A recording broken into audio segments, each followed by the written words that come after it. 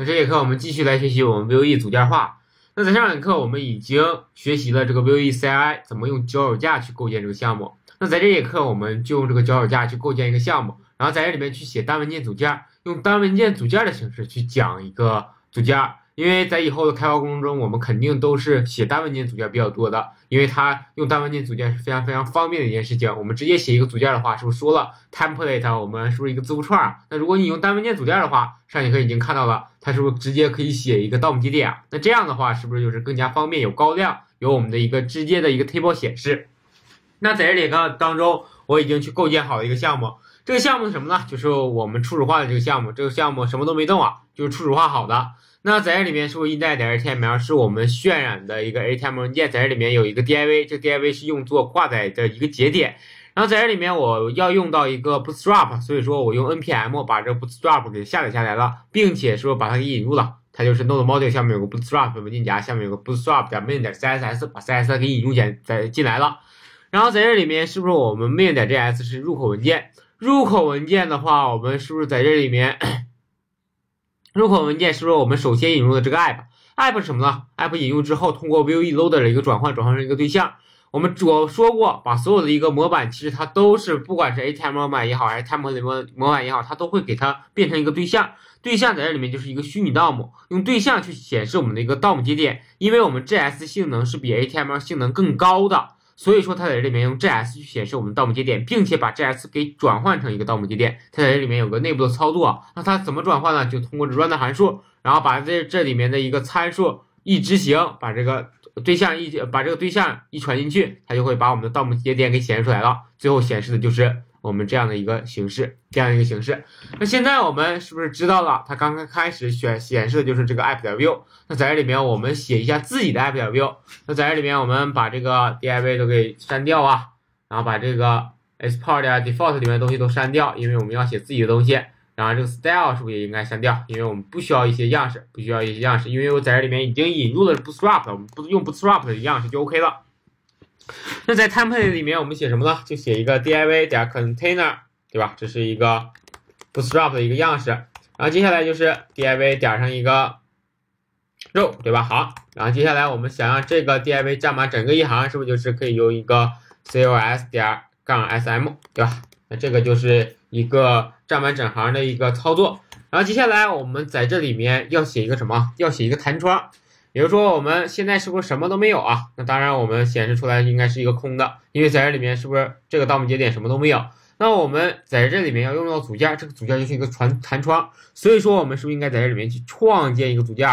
那组件我们就叫做一个 announcement，o u n c e m e n t o k 一个通告。那在 Vue，那在这里面我们写两部分、三部分 template，还有一个 script，script 我们直接生成了。OK，就有这个 export default，因为它要导出。然后 style 我们就不写了，在这里面我们也不需要样式。然后在这里面我们是不是就是有一个弹窗？这个弹窗就是 alert，对吧？这个 alert 也是我们的一个呃 bootstrap 里面的一个样式，alert info。OK，然后在这里面是不是我们要写一一句话呀？就是一个弹窗。那在这里面我们就用一个数据绑定的形式，因为在这里面是组件，date 需要写成一个函数的形式，在这里面我们就用 es6 的函数写法了。那这是一个对象，对象里面 es6 的函数可以写成这种形式。我们正常写函数是不是你这么写啊？es6 就直接把这个方式和冒号给省略了，就这么写也是一个函数啊。这 es6 的一个新语法。然后接下来 date 里面我们定义一个 message，对吧？它有一些信息，这是一个页面。OK，那我们是不是就可以把 message 给渲染到里面去了？然后现在这个组件已经定义完了，我们是不是要干什么？要注册这个组件吧，因为这个组件它导出是不是仅仅是一个配置的一个对象？所以说在 main.js 里面，我们首先得 import 这个 announcement。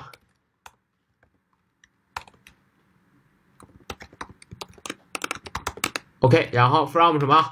在里面这是 ES6 的导出方式啊，在这里面就是 a n o u n c announcement 点 v o e。OK，那它已经写完了。那我们是不是要注册一个全局的组件？那在这里面有个 Vue 点 component 这个函数，然后第一个参数就是组件的名字。那组件名字我们说还是得最好写成什么？一个嗯，横线的形式，那在这里面就叫 announcement。OK，那这里面叫什么呢？就是它的配置项，就是这个对象。OK，它对象是不是就会把这个 announcement 点 view 给编译起来？就相当于我们这个对象里面有个 template 的这个属性，有这 date 这个属性，这个函数都给它写到里面去了。那接下来是不是呃在这里面就可以使用这个 announcement 了？因为在这里面我已经注册完了。那在这里面就是 a n o u n c e ment。OK，那是不是就完事儿了？那这样的话，我们一刷新，看它会不会出来一个弹窗？哎，是不是会出弹窗啊？但是在这里面为什么没有一个数据呢？我看它是报错了，报什么错误？哎，它应该返回 date 是不是应该返回一个对象？所以说我们在这里面它是一个函数，犯了一个第一的错误啊，return，然后它返回一个对象，然后 message 放到这里面去，进行 OK 了，然后我们再刷新一下，哎，是不是这是一个页面？并且是不是有样式？因为在这里面我们用的谁的样式？是不是 Bootstrap 的样式，并且是一个自适应的。OK，那这就是我们的什么了？这就是我们的一个组件。那组件已经注册完了。那接下来我们就做一个练习吧，因为我们全局组件、局部组件都已经讲完了，并且是 Vue CLI 去创建一个单文件组件，我们也讲完了。那现在我们就练习一下怎么去用这个全局组件和这个局部组件。其实像刚才我已经给了一个例子。那首先我们有两个练习，第一个练习。我们呃，这两个练习都是各自是一个组件。第一个组件就是我们在这里面是不是一个文章啊？我们文章里面是不是现在只有一个弹窗啊？那我们来看一下效果，是不是就是这个弹窗？这是一个页面，这个弹窗。那接下来我们说这个架底下还得有一个文章啊，那我们就写一个文章组件。这文章组件你自己命名啊，什么名字都 OK，最好是语义化的一个命名。然后现在我们这个 article 这个文章组件里面有什么呢？有三部分。第一部分什么呢？就是。这个文章被发表的一个时间，对吧？在这里面就是给它获取一个现在的时间就 OK 了。然后接下来就是这个文章的一个呃大标题，大标题，哎，先是这个大标题吧，先是我们这个文章的一个大标题，这是什么什么文章？文章的一个标题。然后接下来就是这个文章的一个发表时间。然后接下来就是这个文章的一个主体，这文章是写什么内容的？你写随便写一些就 OK。那这是一个组件。然后接下来就是第二个组件，第二个组件是不是得有一个作者啊？那下一个组件就是一个作者，那在这里面有两个区别。第一个组件你用这个全局组件去定义，就是刚才我这个 Vue 点 component 去定义。第二组件呢，用我们的局部组件去定义。比如说我们在这里面写在这个 JS 里面去写什么？写 components，去用局部组件去定义。那现在你们就来完成这两个组件，然后现在把视频暂停一下，然后你们去完成这个组件。完成组件之后，再把这个视频打开，看一下跟我写的一不一样，然后去练习一下。OK，那我们一会儿再见啊。OK，那我相信大家都已经写完了。那在这里面，我们还是是不是得写一个组件，是一个文章组件，是不是得创建一个文件，就叫做 article，对吧？article 点 view。那在这里面，OK，然后在这里面是不是得写上 template？OK，然后再写什么？再写这个 script。那在这里面，我们还是不写 style，因为 style 没有啊。然后接下来是不是我们首先？说在这里面，这个组件得有一个根节点啊，根节点我们就随便给一个吧，class 等于这个 container，OK，然后接下来是不是就是三部分？第一部分就是一个大标题 h 一，我们是不是在这里面应该写一个数据啊？数据我们一会儿再写，先写一个双大括号，这里面肯定是绑定一个数据。然后接下来就是我们的一个时间，那我们写个 p 标签，那在这里面还是我们写一个发表于。OK，这是一个时间，时间也是一个数据。然后，因为我们需要获取当前的时间。啊，接下来是不是就文章的一个内容？文章内容我们给一个 class 吧。呃，给一个什么 class 呢？给一个 lead class，这是一个呃 container 里面的一个 class。然后，接下来这个文章的内容我们也是一个数据。OK，那也就是说我们在这里面需要定义三个数据。第一个数据就叫做一个标题，对吧？我们得 return 一个对象，这个对象第一个标题。叫什么？就叫做一个 title。OK，在这里面这是一个好文章，对吧？或者是我们用标题震惊，对吧？震惊标题，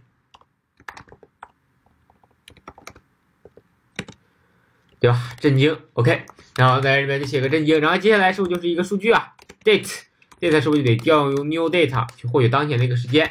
然后接下来呢？接下来是不是就是 content 一个内容，对吧？内容就是。为何过年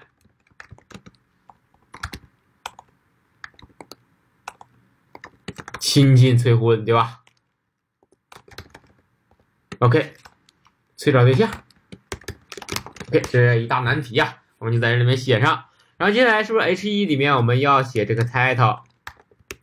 然后这个发表于是不是应该发表于这个 date 时间？然后这个里面是我们要写上一个 content。OK，那是不是这个组件就已经写完了？组件写完了，是我们在这里面应该全局去注册。在这里面首先得把这个 article article，哎，然后在这里面就是 article 点 view。OK，那我们已经把它引入了。引入之后，我们是得 view 一点 component app 点 article。OK。然后在这里面就是这个 article，OK，那我们使用的话，是不是得使用这个 app app 点 article 啊？那在这个 app 点 view 里面，我们写这个 app 点 article，然后一一生成就 OK 了。然后在这里面我们看一下好不好？哎，是不是震震惊？然后发表于多少？二零一哎，二零一八年这些。然后为何过年亲戚催找对象？对吧？这就是我们。写的一个文章，当然在这里面是不是我们用了一个力的这个 class，在这里面它肯定就是 font size 和 font weight 也变了。那这个就是我们的一个呃简单一个网网页。然后在这里面你会发现这个时间不是你想要的形式。那如果你想要把这个时间转换一个形式啊，在这里面有推荐大家一个库叫做 moment 库。那这个库也是在你们开发过程中经常使用的一个库，在这里面我们提一下。那如果你想使用这个库的话，首先也是得先引入这个库，啊，去下载这个库啊。那首先我们说得在这个我们的一个项目打开终端，然后 npm install 下载一个库，它就叫做 moment，moment m o m e n t。然后我们是不是要是在开发过程中运行的时候使用？所以说我们刚刚 save 一下，然后我们下载一下。那下载的时候就让它下载着，我们在这里面先不管啊。那如果我们在这里面要使用这个库的话，是不是我们首先得引入啊，在 script 里面 import 一个 moment，然后 from 一个 moment，OK，那这就是我们的一个库。一个库下载之后，我们是不是要把这个 date 给转换成我们想要的一个形式？那是不是它是一个筛选啊？我们可以用一个 filter，所以说在这里面我们写一个 filters，OK，filters 它是一个对象，然后它就叫 moment。然后在这里面，它是一个方式吧，对吧？它是一个方式。然后它是不是会把我们要筛选的值给传到里面去啊？我们就叫 value。然后在这里面我们直接 return 一个 moment，点上一个 value。moment 是不是这个库啊？我们哎，moment 它是一个函数，直接把这个 value 给它传进去，那它就会进行一个转换。转换的一个规则，我们可以在这里面写一个 format，OK。然后我们的一个规则就是只要月和日，所以说就是 m m m m。这个月 m m m 这个形式就是我们是一个呃完整的月，像什么 month 啊三月中文呢是一个完整的一个单词。如果你写 m m m 就是一个缩写。一会儿我们一起来看一下吧。然后接下来就是有就是它的一个那个，哎，这是一个小写的，那它就是一个月。那我们在这里面来刷新一下，哎，它报错了，哎，因为在这里面是不是没下载下来啊？没下载下来，因为它下载的很慢，那怎么办呢？呃，我们在这里面用这个 CNPM，CNPM 是个淘宝镜像，可能下载的快一些，因为它会去我们中国的服务区里面去取。刚刚 save，OK，看一下，这应该下载就很快。然后我们再刷新一下，哎，你会发现，哎，这个是不是它现在还没有效果？因为我们说没有使用它呀，没有使用它，我们就是。在这里面是不是通过短斜线使用这个 moment？OK，再一刷新，是不是就是 Friday 十三号，二月十三号今天？啊如果你想要这个二月是一个完整的形式，你就写四个 M。我们再看一下，就是说呃二月十三号。OK，那这就是我们的第一个小练习。第一个小练习把我们的一个文章给写完了。第二个是不是我们再写一个组件？只不过这个组件只有一个作者的名字。在这里面我们写一下。在这里面创建一个组件，叫做 author 点 vue，OK，然后在这里面写个 template，然后再写一个 script，OK，那在这里面是不是我们就要一个 div，然后 div 里面写一个 written by，对吧？被谁写？那当然这个写的人是一个一个，我们用 P 标签给它包裹起来，是一个数据啊。OK，然后把它写到这里面去。然后只不过在这里面我们需要定义一个数据，只不过在这里边组件的数据都是一个函数，然后我们 return 一个对象，然后对象里面先写一个 name，就写我吧，叫做为 OK，那是不是我们就可以在这里面去写这个 name？那当然在这里面我们把组件定义好了，我们是不是应该去注册这个组件？那我们是要在 article 里面去用这个组件，因为我们在这里面要局部注册。所以说，在这里面是不是我们就写一个 components，OK，然后在这里面是不是就写上一个呃 article app 杠上一个，然后在这里面如果你写杠的话，你得写一个字符串，杠上一个作者，OK，然后是谁呢？就是我们的一个 author，OK，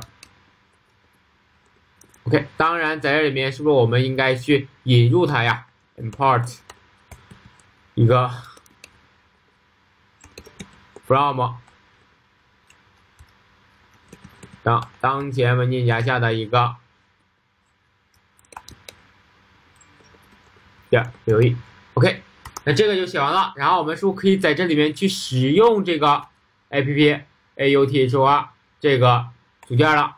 然后在这里面我们使用一下，OK，然后我们。再来刷新一下我们的页面，看好不好使啊？Written by 刘祖威，是不是这个已经好使了？只不过在这里面是不是我们用的是一个局部组件的形式，用的是局部注册？这个整个文章这个组件是用一个全局组件。那这就是我们一个用法，一个简单的用法。我们已经通过例子的方式给它练习了一下。那么我希望你们在课下也是把它给练习一下，更好的去用一下这个 Vue。那接下来我们会发现啊，我们这个目录结构非常非常乱。因为我们是不把所有的组件全部写在这个 src 文件夹下了？什么的 announcement app 全部写在这里了。那我们当然现在项目很小，它没有什么问题。但当你的项目很大的时候，你会发现里面有很多很多个组件，可能有几十个组件、几百个组件。那如果你全部给它平铺在 src 这个文件夹下，你想一下，我们如果再去写一个组件的话，是不是很难去找我们哪个组件和哪个组件相关联呀？那如果这样的话，你可能在写项目的时候就会忘了，哎，这个组件跟谁组件相关联了，就很搞导致我们的项目很乱。所以说，我们最好组织一下我们的一个项目。那在这里面，我都已经创建好了一个文件夹，这个文件夹叫什么呢？叫做 news。因为我们在这里面是不是这个文章就是一个新闻呢？那在这里面我们就是 news。当然，你这个文件夹的名称最好跟你的一个当前组件的一个特性相符合，那我们这个组件是不是就是一个新闻组件？所以说我们就叫做 news。我们是不是应该把这个 article 和这个 author 给它放里面去啊？那在这里面我们打开我们这个文件夹，哎，是不是这里面有一个 news？我们就把这个 article 还有这个 author 点 view 给它拖进到这个 views 里面去，哎，是不是现在就成了这种形式了？当然在这里面它报错了，因为我们说现在的一个路径的一个位置不对了。那在这里面我们先把它改一下。然后接下来是不是还有一个 announcement？announcement 是不是就是一个宣告？宣告是不是就是一个弹窗啊？所以说在这里面我们可以给它再载一个 alert 这个文件夹，这个文件夹里面就写的什么？就写的弹窗这个组件，我们全部给放到这里面去。OK，那这里面是不是它有报错了？不用管它，因为我们在这里面就目录结构给改了。那我们可这里面就很清晰了。我们 app 点 view 里面。是不是用了什么？用了这个 announcement 还有这个 article，然后在这个 main.js 里面，我们定义的这个 announcement 和 article，并且在这里面我们只不过引入的这个路径不对啊，我们应该是加上这个 alert 杠，然后这个应该加上这个呃 news，OK，那这个应该是对的，没有什么问题的，哎，是不是就没有什么问题了？那这个就是我们的一个目录的一个组织。那在这里面还是以特性去命名文件夹，这是很重要的。那在这里面我们还是给它还原回来，因为在这里面小项目我就没有必要这么写了，我把它还原起来啊。然后我们把这个 news 也给它还回来。OK，然后 news 文件夹和 let 文件夹要删了，那是不是这是我们以前的结构？然后我们还是得把这个给删一下。